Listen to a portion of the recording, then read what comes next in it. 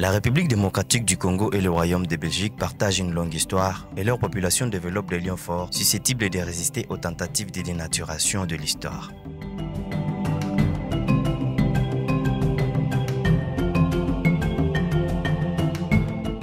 Dans un contexte d'une concurrence rude sur le marché africain, quelques langues se livrent à tenir des discours visant à susciter un sentiment anti-belge, principalement des entreprises belges œuvrant en RDC. Sur le terrain, ce discours croise une farouche opposition et sont confondus par la large opinion.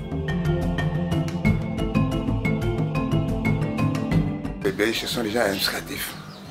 Ils nous ont formés très bien, ils nous ont très bien traités, pas seulement les, les agents, mais tous les travailleurs.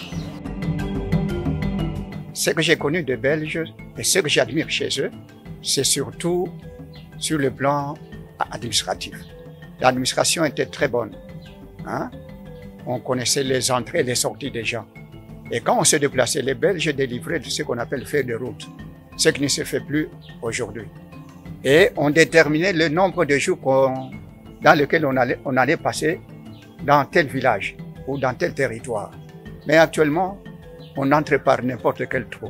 Et chaque année, les Belges faisaient le recensement de la population. Et dans chaque village. Kalemi, jadis Albertville, garde encore les traces de la bonne administration belge. Des constructions imposantes d'utilité publique, et ce, dans tous les secteurs vitaux.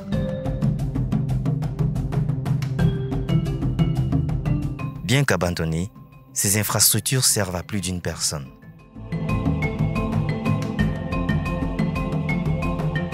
Ceux et celles qui ont cohabité avec les citoyens belges ne tarissent pas des mots pour admirer les prouesses de ces peuples vis-à-vis des citoyens congolais.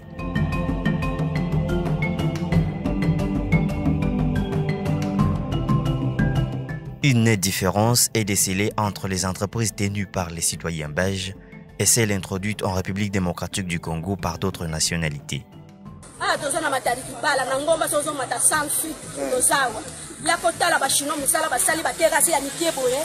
Nde tozokunda ebembe ku tokokundila yango na terase wana te. Chinois ya kotongela biso na mboka na biso mwa terase ya mokie boye. Po adetruire vi na biso na bana na biso. Biso mapango ekei bandeko mosusu bakufi tokosuka lelo wapi?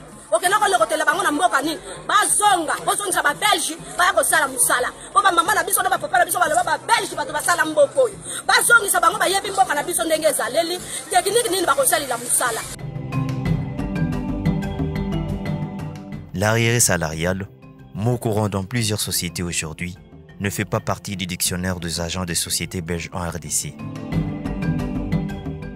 Salari ya watu ilifika kila siku pa wakati, kufikiria pa wakati. Kuna watu ndugu zetu wengine wanatesa wa ndugu wenzao, mtu anafanya simu alipwi, burgu alipwi, anapashwa kulipa. Wale wandugu walitulipa mshahara mwezi kwa mwezi. On était logés. Par exemple, nous, nous, ici au quartier, nous les agents des cadres, on était logés. On a tout, l'eau, courant. Sisi tulikuwa vile batoto ya, ya baagent wa Fitizaf kuanzia vile tulikalamuka kuanzia mane 64 kuya mpaka 68 70 kitu kizuri antuka baba yetu balitumika kule kufitizaf hatukusentir njala bapapa yetu balipokea franga kizuri kilikuwako. Chaque fin du mois balipokea le 28 au plus tard le 5 banapata ile mshahara yabo.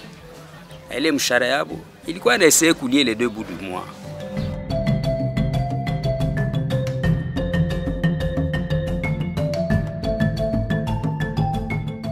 Mimi nilitumika kufiti safi. Kama nilitumia kufiti safi tangu 1900 65 64 donc uh, tukaenda Ulaya tukabaki kule muda mwaka mzima na nusu. Tulikuwa naenda kufanya stage specialisation katika nchi ya Ubeleji pa Bruxelles justement. Mekisha kufika pale pa Bruxelles tulifanya 3 mois, kisha 3 mois ndio tukaenda sasa kuizine ya nani ya, ya textile mashine ya kufuma nguo wakati tulifanya ule mwaka mzima na nusu kule, tulisione presque inchi ya Europe, wakati ule kulikuwa banasema Europe de 6 Le quotidien du citoyen congolais prestant avec le belge est déclaré aisé. L'enveloppe ne pouvait pas être trop consistante, mais un travailleur pouvait répondre à ses besoins. En amont, une politique agricole bien fine, ne plus à comparer.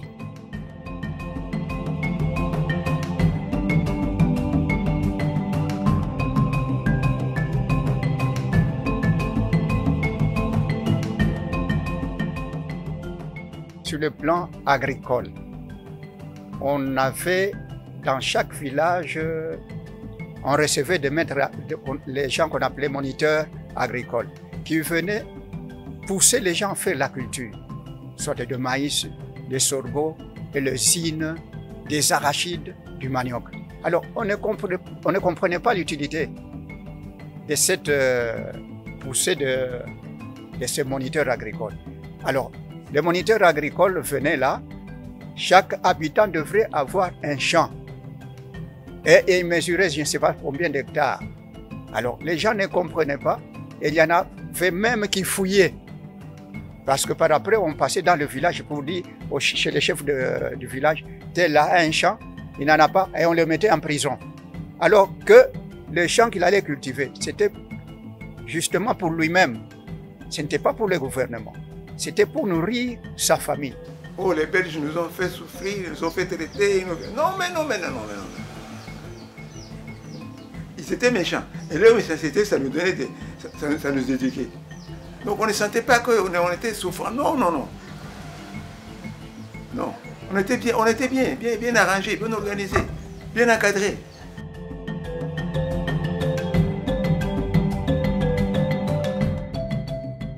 Alors que d'autres sociétés actuellement se méfient de remplir leur cahier de charges, renfermant la responsabilité sociale au profit des communautés locales, les citoyens belges se distinguent surtout par les soucis de leur santé et de la scolarisation des enfants congolais. matunzo hatukusentir kuuza paracetamol wala nini? E, societe alikuwa na hospitali yake pale, actuellement alikuwa anaita cercle pale kule Kichanga, ndio ilikuwa hospitali.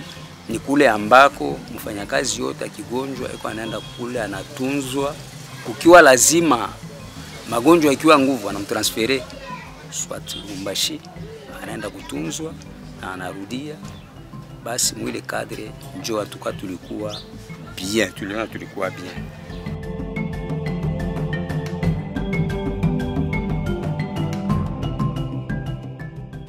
daktari wa viti safi anaangalia kaa yako, kama kaa iko grave anakutuma Lubumbashi.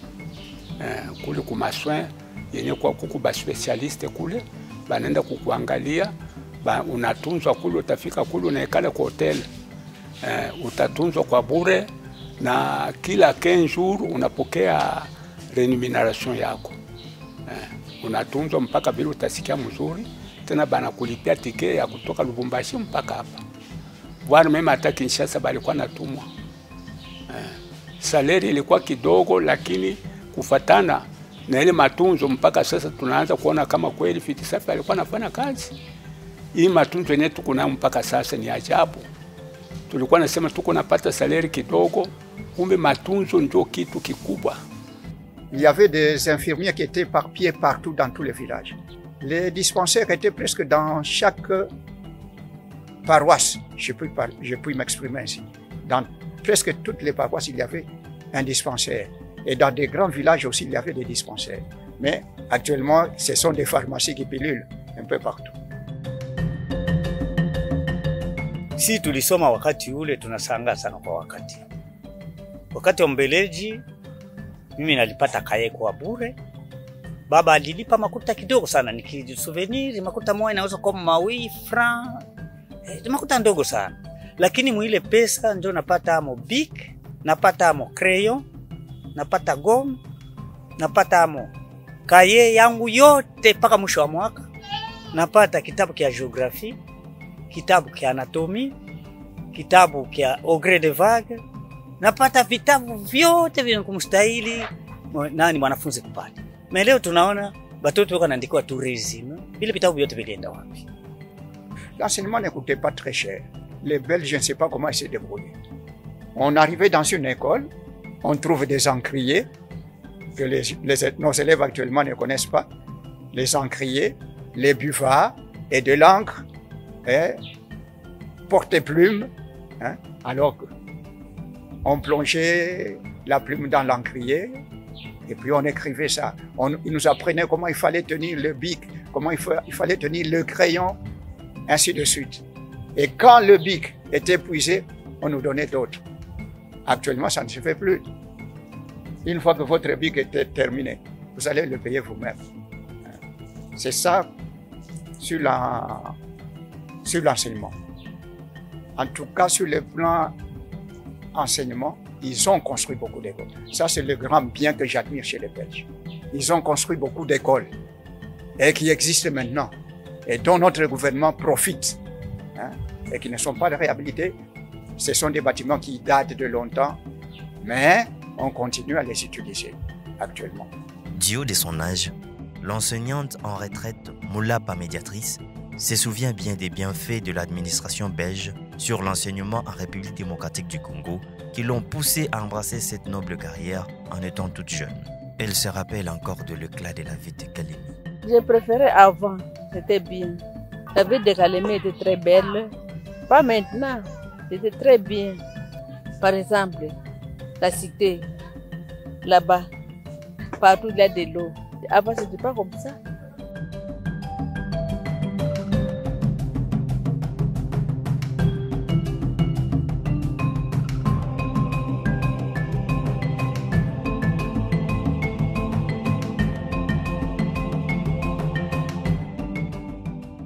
L'envie de mieux faire pour les habitants de la République démocratique du Congo est totalement incommensurable chez bon nombre de citoyens belges. Pour en dire plus, la qualité des travaux exécutés par les entreprises belges en République démocratique du Congo, avec en tête Malta Forest, séduit plus d'un habitant. Des routes et des ponts durables, un traitement humanisé des agents et personnels en général, font la différence comparativement à d'autres entreprises en provenance des pays extérieurs ou même d'autres sociétés nées à partir du pays de Lumumba.